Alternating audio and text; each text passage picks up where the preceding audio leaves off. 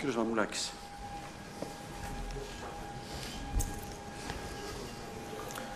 Καλημέρα και από μένα. Μαζί θα συζητήσουμε πάλι για τους υπολογιστές ογκολογικού κινδύνου και θα προχωρήσουμε βήμα-βήμα δύο παραδείγματα. Το ένα από τα δύο παραδείγματα αφορά στον καρκίνο του νεφρού και το άλλο παράδειγμα αφορά στον καρκίνο του ουροδόκου να δούμε πώς μπορούμε step by step να εφαρμόσουμε αυτά τα πράγματα. Η παρουσίαση αυτή ήταν φτιαγμένη, όπως είπαμε, να γίνει διαφορετικά, δηλαδή να γίνει πιο interactive και αναγκαστικά θα τα πάμε με print screen. Θα ήθελα όμως πριν προχωρήσουμε να πω το εξής. Όπως πολύ ωραία είπε προηγουμένως ο Σταύρος, αυτό το μήνυμα που θα πρέπει να φύγει από εδώ είναι ότι αν μπούμε στο ίντερνετ και κάνουμε googling ή χρησιμοποιήσουμε μια άλλη μηχανή αναζήτησης και βάλουμε νομόγραμμα και κάποιον καρκίνο, καρκίνο του ρηφού κτλ., θα βρούμε ένα καταιγισμό νομογραμμάτων. Αυτό που έχει σημασία είναι να έχουμε τα μάτια μας ανοιχτά, ποιο θα χρησιμοποιήσουμε. Διότι διαφορετικά οι πιθανότητες να κάνουμε λάθος, να δώσουμε λάθος πληροφορία είναι μεγάλη. Άρα θα πρέπει να πάμε πάλι πίσω, κλασικά, στην τεκμηριωμένη ιατρική. Θα πρέπει να χρησιμοποιήσουμε νομόγραμμα το οποίο προέρχεται από μεγάλο κέντρο, όπως είναι παραδείγματος το Memorial Sloan Kettering Cancer Center, για παράδειγμα, λέω ένα παράδειγμα. Θα πρέπει να μας δίνει τη βιβλιογραφία και μπαίνοντας μέσα στη βιβλιογραφία, θα πρέπει να μπορούμε να αντιληφθούμε τι είναι αυτό το νομόγραμμα. Να θυμάστε, διαγνωστική αξιοπιστία, ακρίβεια, μην χρησιμοποιήσετε ένα νομόγραμμα που έχει κάτω από 70%. 70 με 80% είναι το acceptable. Κάτω από εκεί, λίγο με επιφύλαξη. Δεύτερον, βαθμονόμηση. Πάρα πολύ σημαντικό. Μην ξεχνάτε ότι αυτά είναι στατιστικά προγράμματα. Στατιστικά, στατιστική αλγόριθμη, μοντέλα. Που σημαίνει ότι δίνουν μία εκτίμηση και υπάρχει και μία πραγματικότητα. Το ζεύγος λοιπόν των τιμών του εκτιμητή και της πραγματικότητας πρέπει να συμπίπτουν. Βαθμονόμηση σημαίνει ότι αυτό που μας λέει η εκτίμηση, έτσι, είναι, ε, η πιθανότητα σφάλματος είναι μικρή. Άρα θέλουμε διάγραμμα με υψηλή ε, εκτιμητική ικανότητα, μικρό περιθώριο λάθους. Τρίτον, και πολύ σημαντικό, πρέπει το νομόγραμμα να έχει γίνει έλεγχος για την εγκυρότητά του. Αυτό, εάν δεν έχει γίνει, είναι πρόβλημα. Ελέγξτε λοιπόν το paper στο οποίο αναφέρεται να έχει γίνει τουλάχιστον εσωτερικός έλεγχος εγκυρότητας, δηλαδή να έχει χρησιμοποιηθεί τμήμα του πληθυσμού πάνω στο οποίο έχει βασιστεί το νομόγραμμα και στη συνέχεια ελεγχθεί σε ένα άλλο τμήμα του ίδιου πληθυσμού, εσωτερικό validation, ή ιδανικά να έχει γίνει εξωτερικός έλεγχος εγκυρότητας, δηλαδή να έχει χρησιμοποιηθεί το νομόγραμμα σε ένα τελείως διαφορετικό πληθυσμό, όχι διαφορετικό, άλλο πληθυσμό με παρόμοια χαρακτηριστικά και να έχουμε το λεγόμενο external validation. Αυτό θα μας δώσει τη δυνατότητα να είναι γενικεύσιμα τα αποτελέσματά μας. Διαφορετικά δεν έχει νόημα. Και κάτι το οποίο επίσης παίζει σημασία είναι να είναι απλό στη χρήση. Δεν είναι όλα απλά στη χρήση. Μπορεί να χρησιμοποιούν πολλές παραμέτρους. Κάποιες από αυτές δεν μπορούμε να έχουμε αποτελέσματα. Παραδείγματο χάρη να δίνουν να τα data να προέρχονται από ε, εργαλεία τα οποία δεν τα χρησιμοποιούμε στην καθημερινή πράξη. Οπότε είναι δωρονάδωρο. Μπορεί να έχουμε δύο διαγράμματα, ένα πολύ απλό με τρεις παραμέτρους απλούς, ηλικία, ε, φύλλο, παράδειγμα κτλ. Και ένα άλλο που να έχει 25 παραμέτρους, των οποίων κάποια από αυτά είναι πολύ πολύπλοκα και δεν μπορούμε να χρησιμοποιήσουμε. Το δεύτερο να έχει μεγαλύτερη αξιοπιστία, αλλά ποιο είναι το όφελος. Άρα λοιπόν αυτό που έχει σημασία στη συγκεκριμένη παρουσίαση είναι το after effect που θα έχετε από εδώ. Έχουν μπει όλα αυτά στο Eurotools του IMOP. Όταν θα πάτε στο γραφείο σας, μπορείτε να, τα, να παίξετε μαζί τους και να δώσετε απαντήσεις στους ασθενείς σας ε, χρησιμοποιώντας τους υπολογιστές από εκεί. Πάμε να δούμε λίγο για τον καρκίνο του νεφρού. Α πάρουμε ένα παράδειγμα. Έχουμε μια γυναίκα, είναι 61 ετών, έχει αρνητικό ατομικό αναμυστικό για καρκίνο. Ανοίξει στον γενικό πληθυσμό. Δεν, δεν έχουμε καμία ένδειξη ότι έχει τίποτα. Έχει έναν αδελφό στο ιστορικό που έχει πεθάνει από καρκίνο του νεφρού. Το ύψος και το βάρος το βλέπουμε. Είναι καπνίστρια. Παράγοντας κινδύνου ως γνωστό για καρκίνο του νεφρού, περίπου 1,5 πακέτο την ημέρα. Και έχει υπέρταση. Ποια είναι η πιθανότητα να αναπτύξει καρκίνο κάποια στιγμή στη ζωή της, αν πάμε στο link που δίνω ε, από κάτω και το πατήσετε στα, στα εργαλεία που έχετε, θα μας βγάλει στην ιστοσελίδα από το Πανεπιστήμιο Harvard στο ε, School of Public Health. Εδώ είναι ένα πολύ φιλικό ε, νομόγραμμα, το οποίο step by step, απαντώντας τις ερωτήσεις και δίνοντας τα δεδομένα που έχω δώσει προηγουμένως, θα καταλήξουμε τελικά σε αυτό το, το διάγραμμα που μας δείχνει ότι η συγκεκριμένη γυναίκα είναι υψηλού κινδύνου να αναπτύξει καρκίνο του νεφρού, ακριβώς γιατί καπνίζει, έχει υπέρταση για τον αδερφό που πέθανε από αυτό και μας δίνει και τη δυνατότητα να κάνουμε τικ σε πράγματα που μπορούμε να τροποποιήσουμε, όπως παραδείγματος χάρη σύσταση διακοπής του καπνίσματος, ρύθμιση της αρτηριακής πίεσης και πόσο πέφτει ο κίνδυνος, βλέπετε, πέφτει κάτω από το μέσο όρο. Επειδή είναι υψηλού κινδύνου, κάποιος σκέφτηκε να δώσει ένα, ένα, έναν έλεγχο στη γυναίκα αυτή, αφού της έγιναν οι απαραίτητες συστάσεις για διακοπή καπνίσματος, παρακολούθηση και ρύθμιση της πίεσης, με υπερηχογράφημα και βρέθηκε μια ύποπτη μάζα στο δεξιό νεφρό. Η μάζα αυτή διαρνήθηκε παραπέρα με αξιολογική τομογραφία με σκιαγραφική ενίσχυση και φάνηκε ότι υπάρχει ένας όγκος 2,9 εκατοστά που ενισχύει εδώ, αλλά δεν υπάρχουν άλλα προβλήματα στην αξιολογική τομογραφία. Δεν έχουμε ένδειξη δηλαδή κάτι να μας ε, λέει για πιθανή μετάσταση σε λεμφαδένα ή κάποιο στοιχείο νέκρωσης. Ερχόμαστε στα προεγχειρητικά νομογράμματα. Έχουμε τα προεγχειρητικά νομογράμματα και τα μετεγχειρητικά νομογράμματα για ασθενείς. Και το πρώτο που ήταν για γενικού κινδύνου, ε, για, γενικού πληθυσμού. Προεγχειρητικά είναι εκ των πραγμάτων τα δεδομένα που έχουμε στα προεγχειρητικά νομογράμματα είναι περιορισμένα γιατί δεν έχουμε πληροφορίες από την ιστολογική, για παράδειγμα. Μπορούμε όμως και μετά από μια πολύ ενδελεχή έτσι, ανασκόπηση βιβλιογραφίας που κάνουμε με το Σταύρο, καταλήξαμε και σας δώσαμε εκείνα τα οποία με βάση τα χαρακτηριστικά που σας είπα θεωρούνται πιο καλά και μπορείτε να τα χρησιμοποιήσετε. Και μπορούμε να απαντήσουμε σε όλα αυτά τα ερωτήματα με αρκετή ας πούμε, έτσι, καλή ε, προσέγγιση, να κάνουμε σταδιοποίηση, να απαντήσουμε αν, αν ποια είναι η πιθανότητα κακοήθειας ενός όγκου κλινικού σταδίου ταφένα, η, επιθο, η επιθετικότητα του όγκου, κακοήθεια και επιθετικότητα του όγκου κτλ. Να δώσουμε τέτοιου είδους απαντήσεις που πολλοί από τους ασθενείς μας θα μας συζητήσουν. Στη σταδιοποίηση. Δεν ξέρω αν όλοι θυμάστε να πάσα στιγμή όλους τους καρχίνου πώς σταδιοποιούνται. Ε, υπάρχει μια πολύ εύκολη λύση. Αν πάμε στο link εδώ, θα πάμε στο, ε, στο Fox Chase Cancer Center, το FCCC, Pennsylvania, Philadelphia, το οποίο δίνει και άλλα νομογράμματα, πάρα πολύ ε, σημαντικά και για άλλου καρκίνους και για τον νεφρό. Και εδώ μας δίνει τη δυνατότητα, βάζοντας εμείς ε, νήμη 0, συγκεκριμένη νήμη 0, τα φένα φυσικά είναι 2,9 εκατοστά, να έχουμε μέσα στο στάδιο και το TNM, το αντίστοιχο που πρέπει να χρησιμοποιούμε αυτή τη στιγμή. Έτσι μπορούμε εύκολα να μην θυμόμαστε κάτι και κάνουμε μια σταδιοποίηση άμεση ε, στο γραφείο μας. Ποια είναι η πιθανότητα της κακοήθειας του μικρού αυτού νεφρικού όγκου, να είναι δηλαδή κακός. Εδώ είναι η μελέτη στην οποία στηρίζεται. Εάν βάλουμε τα χαρακτηριστικά που είπαμε, ε, το φύλλο, την, ε, την, ε, αν καπνίζει ή δεν καπνίζει, αν έχει συμπτώματα ή όχι στη διάγνωση κτλ. Βασιζόμενοι σε αυτή εδώ πέρα τη μελέτη, θα πάρουμε μια πιθανότητα της τάξης του 79,4%. Εδώ το βάζω να σας πω το εξής, ότι έχει γίνει έλεγχος εσωτερικό ε, έλεγχος εγκυρότητας, μας δίνει όμως ένα concordance index, μια πιθανότητα να είναι ακριβή σε διάγνωση 64,4%. Είναι κάτω από 70. Αυτό το νομόγραμμα εγώ θα το σκεφτόμουν αν θα το χρησιμοποιούσα. Πάντως μπορεί να χρησιμοποιηθεί. Έχω βάλει αυτό το νομόγραμμα για να σας δείξω ε, ένα κακό νομόγραμμα. Ποια είναι η πιθανότητα να εκτιμήσουμε να είναι υψηλού grade, φούρμαν 3, φούρμαν 4. Δηλαδή να υποκαταστήσουμε με κάποια δεδομένα που έχουμε προεγχειρητικά βιοψία. Να προβλέψουμε το, το μετεγχειρητικό αποτέλεσμα προς την επιθετικότητα. Πάρα πολύ απλό, βάζουμε τα στοιχεία 2,9 ο όγκος, γυναίκα ασυμπτωματική, μα δίνει μια πιθανότητα 11,4%. Κοιτάξτε όμως, η πιθανότητα, η ακρίβεια του είναι 55,6%. Πόσο θα το εμπιστευόμασταν; Συνεχίζουμε το παράδειγμα. Η αξονική τομογραφία έτσι λοιπόν συμπαγή όγκο 2,9 εκατοστά με σκιαγραφική ενίσχυση. Εδώ είναι η, η αξονική, βλέπουμε τον όγκο. Βλέπουμε τις πολικές γραμμές όπως λέμε. Οι οποίες είναι οι γραμμές οι οποίες έρχονται κάθετα από σπονδυλική στήλη, εφάπτονται στον άνω πόλο, άνω πολική και κάτω πολική γραμμή. Και θα δούμε γιατί το λέμε αυτό το πράγμα.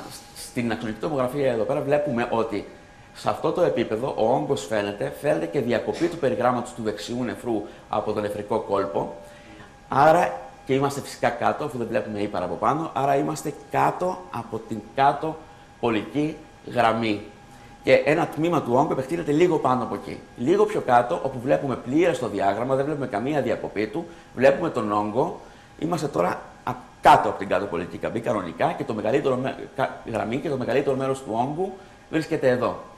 Με βάση αυτά τα απεικονιστικά από την αξονική τομογραφία, μπορούμε να πούμε ότι ο όγκος είναι εξοχητικό, σε ποσοστό πάνω από 50%. Είναι μακριά από την πίελο, την νεφρική. Αν το μετρήσουμε, είναι πάνω από 7 χιλιοστά. Έχει μια οπίστια εντόπιση, δεν εφάπτεται στην πύλη, επεκτείνεται λίγο πάνω από την κάτω πολική γραμμή.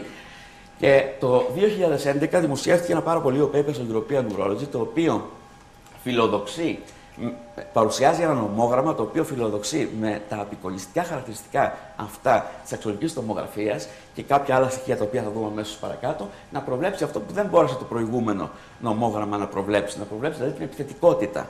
Βλέπουμε μια αξιολογική τομογραφία, βλέπουμε αυτά τα ανατομικά χαρακτηριστικά, βάζουμε ηλικία, βάζουμε φύλλο και βγάζουμε ένα αποτέλεσμα. Και αυτό είναι καλό. 76% και 73% είναι η διαγνωστική, η, η προγνωστική του αξία για την πιθανότητα κακοήθειας και επιθετικότητας. Στηρίζεται στο σύστημα Renal, τα οποία είναι αρχικά. Renal σημαίνει radius, ακτίνα, πόσο μεγάλη είναι η μέγιστη διάμετρος, κάτω από 4, πάνω από 7 ε, εκατοστά, πόσο εξοφυτικό είναι ο όγκος, η εξοφυτική του επέκταση, πόσο μακριά είναι από την νεφρική πύλο, με τα 7 χιλιοστά και τα 4 χιλιοστά που είπαμε προηγουμένως, αν είναι arbiterior ή posterior η θέση του, εδώ είναι ο πίστιο όγκος, και ε, που βρίσκεται σε σχέση με τις πολικές ε, γραμμές. Με βάση αυτά παίρνουμε το renal score, βάζουμε το φύλλο, βάζουμε την ηλικία και παίρνουμε. Τι παίρνουμε; Η πιθανότητα σε αυτήν την ασθενή να είναι κακοήθης αυτός ο όγκος είναι 54,8, επιθετικός με αρκετή διαγνωστική ακρίβεια, όπως σας είπα προηγουμένως, 28,3% και με βάση τον πολλαπλασιαστικό κανόνα των πιθανότητων να τα έχει και τα δυο μαζί, να είναι κακός και επιθετικός υψηλού grade, είναι ο πολλαπλασιασμός αυτός 15,5%. Ένα πολύ ωραίο, νομίζω, ενδιαφέρον νομόγραμμα, λίγο πολύπλοκο προς αυτό το θέμα, αλλά ε, με ε, υψηλά ποσοστά ε, ακρίβεια σε αυτό που δίνει.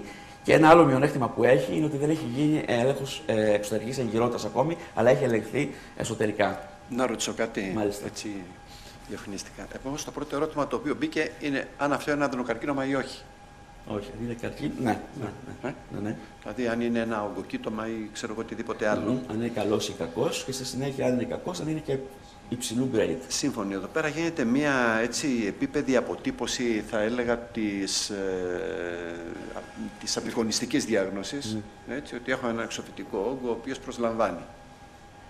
Η αίσθηση των ανθρώπων που είναι εδώ, όσον αφορά την εικόνα αυτή, σε σχέση με το αν είναι αδενοκαρκίνωμα ή όχι. Ποια είναι; Τι πιστεύετε ότι ήταν αυτή η μάζα έτσι όπως απεικονιζόταν εκεί; Πώς πιστεύετε ότι είναι καρκίνος δηλαδή; Πώς πιστεύετε ότι αυτό ήταν αδενοκαρκίνωμα που είδατε εκεί πέρα; Και τι πιθανότητα έχει να είναι καρκίνος, με αυτά που γνωρίζουμε, ένας μικρός νεφρικός όγκος. Είναι κάτω από 7. Πώς νομίζετε ότι δεν είναι καρκίνος αυτό; Επομένως, όλοι με βάση τα μακροσκοπικά χαρακτηριστικά που θελήσατε να πάρετε θέση, πιστεύετε ότι είναι καρκίνος; Έτσι. Ωραία, θα επανέλθω σε αυτό λίγο μετά. Ναι. Θα προχωρήσουμε. Πάντως είναι 20% πιθανότητα να μην είναι καρκίνο εκ των πραγμάτων. Έτσι. Με, βάση τα... με βάση το προηγούμενο με βάση νομόγραμμα. το μέγεθος και μόνο. Ναι. Ε, με αυτό μπορούμε να διορθώσουμε λίγο ίσως αυτή την πιθανότητα για να δώσουμε μια μεγάλη. Αυτό φιλοδοξεί να κάνει. Γιατί θεωρώ ότι αυτό που χάνουν είναι ότι δίνουν μια πληροφορία, ξέρω εγώ το μέγεθος μόνο. Ε, όλες οι απεικονίσεις των αδενοκαρκινομάτων δεν είναι ίδιες. Mm -hmm. Έτσι. Επομένως, επομένως, επομένως, είναι κάτι το οποίο, δηλαδή η αίσθηση της διαχείρισης του σκιαγραφικού φαρμάκου από έναν όγκο δεν μπορεί να μπει σε ένα νομόγραμμα μέσα. Έτσι, δηλαδή, ε, εγώ λίγο εξεπλάγει προηγουμένως όταν μπήκε ως ερώτημα το αν είναι ή δεν είναι. Γιατί με βάση αυτή την απάντηση θα μπορούσε να πει ασθενής Ωραία, εγώ από ό,τι καταλαβαίνω 50-50 είναι να έχω να μην έχω καρκίνο. Α το αφήσουμε τώρα και το βλέπουμε μετά από 6 μήνες. Όχι 50-50. Ε, στο συγκεκριμένο τόσο δεν είναι, 54. Ναι, 55-45. Ναι, ναι, ναι. Ε, δηλαδή, ναι. χοντρικά κάπως έτσι θα το πει. Και θεωρώ ότι αυτό είναι μάλλον ένα λάθος μήνυμα σε σχέση με την ερμηνεία της απεικόνησης. Δεν ξέρω, αυτή ήταν η αρχική μου αίσθηση, αν πιστεύετε και εσείς το ίδιο. Σκεφτείτε όμως ένα στιγμή που θα ήταν παραδείγματο μεγαλύτερος και θα πρέπει να πάρουμε απόφαση αν θα το λειτουργήσουμε ή όχι. 75 χρόνια, 80 χρόνια για παράδειγμα. Εκεί ίσως σκεφτόταν.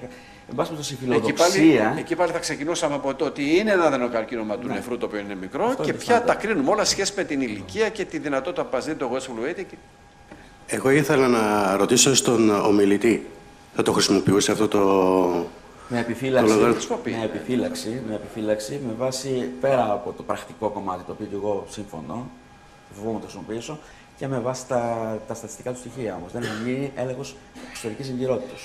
Ναι, Έτσι. Λοιπόν, πιθανότητα λεμφαδενικών μεταστάσεων κατά τη διάγνωση. Εδώ έχουμε ένα νομόγραμμα το οποίο προέρχεται από το, από το ε, Πανεπιστήμιο του Μόντρεαλ, όπως είπε προηγουμένως ο Σταύρος. Αυτό το νομόγραμμα στατιστικά τουλάχιστον στέκει, διότι έχει, είναι πολυκεντρική η μελέτη, έχει μεγάλο ποσοστό 78,4% ακρίβειας, ε, μεγάλος ο πληθυσμός, έχει γίνει external validation, θεωρητικά στέκει. Απλώς στη χρήση, ηλικία, συμπτώματα, μέγεθος όγκου και η πιθανότητα που δίνει είναι 0,7%. Πιθανότητα απομακρυσμένων μεταστάσεων. Μιλάμε προεχειρητικά, μόνο με τα προεχειρητικά δεδομένα.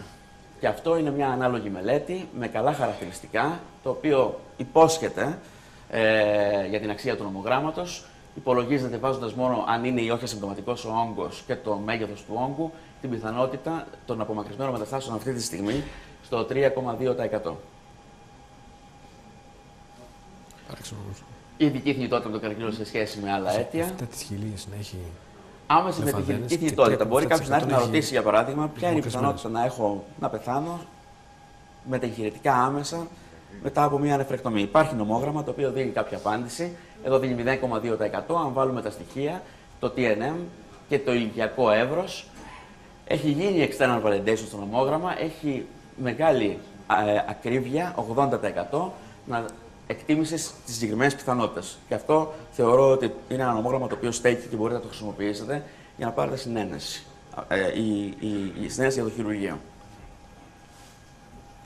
Η ειδική θνητότητα από τον καρκίνο την προσεχή δεκαετία.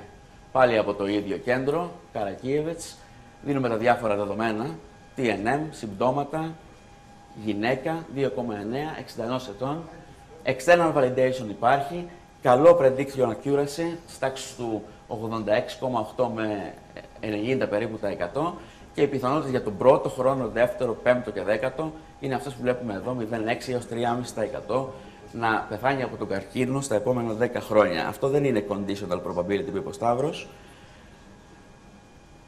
Θα δούμε αργότερα έναν ανάλογο ε, για τη δεσμευμένη πιθανότητα που δίνει. Δωδεκαετής επιβίωση ελεύθερης νόσου.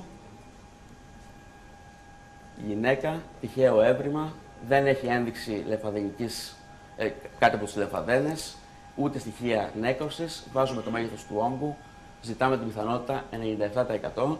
Δεν έχει γίνει internal, external validation, έχει γίνει μόνο internal validation, αλλά έχει καλό ε, prediction accuracy και στηρίζεται σε μεγάλο πληθυσμό γύρω στα 2.500 άτομα. Συνεχίζουμε το κλινικό παράδειγμα. Η γυναίκα με αυτά τα δεδομένα αποφάσισε και έγινε μερική νεφρεκτομή. Βγήκε διακοκταρικό ε, καρκίνωμα. Αφαιρέθηκε ένα κομμάτι του νεφρού μαζί με τον όγκο και τελικά έμεινε το 80% της νεφρικής μάζας, παρούσα. 2,9 εκατοστά μετρήθηκε πραγματικά στο παρασκεύασμα ο, ο όγκος. Ήταν grade 3. Είχε στοιχεία νέκρωσης κατά τόπου και στοιχεία αγκιακής διεύθυνσης.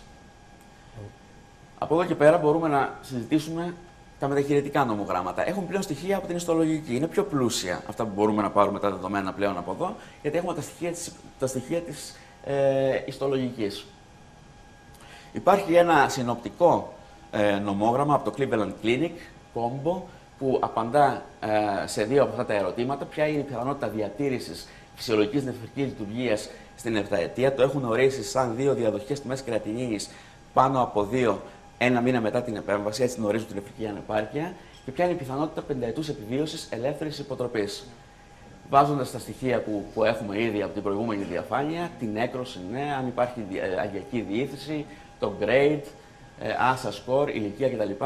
Παίρνουμε τις πιθανότητες, οι, οποία, οι οποίες υπολογίζονται στο 99% ε, για την, ε, νευρική, ε, για την ε, πιθανότητα να μην, έχει, να μην πάθει νευρική ανεπάρκεια και γύρω στο 92% ε, για την, πια- ε, η πιθανότητα πενταετούς επιβίωσης ελεύθερης υποτροπής. Εδώ βλέπουμε τα αντίστοιχα paper. Αυτό το paper είναι ένα paper το οποίο στερείται και αυτό external validation για την, ε, για την εθνική ανεπάρκεια και από τα δύο άλλα, αν είναι να χρησιμοποιήσει κάποιος κάτι, θα χρησιμοποιούσε την τρίτη γραμμή. Είναι δύο μελέτες οι οποίες εκτιμούν το ίδιο πράγμα, την πενταετή επιβίωση δηλαδή ελεύθερης υποτροπής, αλλά η- το paper στο οποίο στηρίζεται το δεύτερο ποσοστό ε, έχει μεγαλύτερο concordance index και έχει γίνει έλεγχος εξωτερική, εξωτερικός έλεγχος εγκυρότητας. Αλλά αν είναι στο κόμπο να χρησιμοποιήσετε κάτι, χρησιμοποιήστε το 2 και το 3. Η ειδική θνητότητα από τον καρκίνο. Ποια είναι η πιθανότητα να πεθάνει από τον καρκίνο την προσεχή δεκαετία; Καλό μοντέλο, δίνει τις πιθανότητες με απλά δεδομένα που μέχρι τώρα έχουμε δει, για τον πρώτο, δεύτερο, πέμπτο και δέκατο χρόνο. έχει γίνει έλεγχος ε, της ε, εγκυρότητάς του και τα ποσοστά της ακρίβειας του είναι υψηλά, πάνω από 80%, 87-88%. Μπορούμε να το χρησιμοποιήσουμε. Βλέπουμε ότι στον πρώτο χρόνο υπολογίζεται να είναι 0,9% και στα 10 χρόνια φτάνει στο 5,5%. Αλλά ερχόμαστε στη δεσμευμένη πιθανότητα. Είναι αυτό ακριβώς που είπε ο Σταύρος προηγουμένως. Είναι πολύ πιο σωστό από ό,τι φαίνεται τελικά να παίρνουμε τη δεσμευμένη πιθανότητα επιβίωσης για κάποιο χρονικό διάστημα και όχι την απόλυτη. Δηλαδή, δεδομένου του ότι επέζησε τον πρώτο χρόνο, ποια είναι η πιθανότητα να φτάσει στον επόμενο. Δεδομένου ότι επέζησε τον δεύτερο, ποια είναι η πιθανότητα να φτάσει στον τρίτο κτλ. κτλ. Και έχουμε ένα, μια, ένα καλό νομόγραμμα πάλι το οποίο προέρχεται από το Montreal που μας δίνει αυτά τα δεδομένα. Το μόνο που ζητάει παραπάνω είναι να, να πούμε ποια στιγμή, σε ποια στιγμή βρισκόμαστε. Είμαστε στο, εδώ στο τέλος. Είμαστε ένα χρόνο μετά την ευρεκτομή, δύο χρόνια και ούτω καθεξής. Αν βάλουμε ένα εδώ, είναι 100% για τον πρώτο χρόνο αφού έχει επιζήσει και τα επόμενα αναπροσαρμόζονται. Το paper έχει μεγάλο, μεγάλη ακρίβεια ως προς την, αυτό που υπόσχεται ότι, ότι μετράει. Είναι πολυκεντρικό. Έχει γίνει έλεγχος εγκυρότητας, ε, εξωτερικός έλεγχος εγκυρότητας. Είναι ένα ε, θεωρητικά τουλάχιστον καλό νομόγραμμα που μπορεί να χρησιμοποιηθεί. Και πάμε στην παρακολούθηση. Ε, στο ε, Fox Chase Cancer Center ε, υπάρχει και αυτό το κομμάτι, το οποίο το, εγώ το βρήκα πρακτικό. Δηλαδή, πολλές φορές μπορεί να μην θυμόμαστε με βάση τα guidelines πώς θα παρακολουθήσουμε αυτόν τον ασθενή, τι εξετάσεις θα κάνουμε και σε ποιο χρονικό διάστημα, για πόσο κτλ. Μπορούμε να πάμε εύκολα σε αυτό εδώ το νομόγραμμα, το οποίο δεν είναι τυχαίο, στηρίζεται στο, στα NCCA guidelines και, στα και στα αμερικάνικα guidelines, στα οποία βάζοντας το TNM, και το performance status, το οποίο μπορούμε να το βρούμε εύκολα στο ίντερνετ πώς υπολογίζεται. Στη συγκεκριμένη γυναίκα είναι μια δραστήρια γυναίκα, ο όγκος δεν έχει περιορίσει τη δραστηριότητά της, επομένως πάει μηδέν και μας δίνει κατευθείαν αναπροσαρμόζοντας ε, τι πρέπει να κάνουμε, σε ποιο μήνα. Βλέπουμε ιστορικό φυσική εξέταση πούμε, στον έκτο μήνα, εργαστηριακές εξετάσεις, αξονική θώρακα. Το 12ο μήνα θα προσθέσουμε μια αξονική τομογραφία κοιλίας. Θα πάμε μετά ένα εξάμεινο, μετά ένα έτος, ακριβώς τι πρέπει να κάνουμε. Ε, πρακτικό, το έβαλα έτσι σαν πρακτικό για να μην θυμόμαστε απ' έξω ε, πάρα πολλά πράγματα.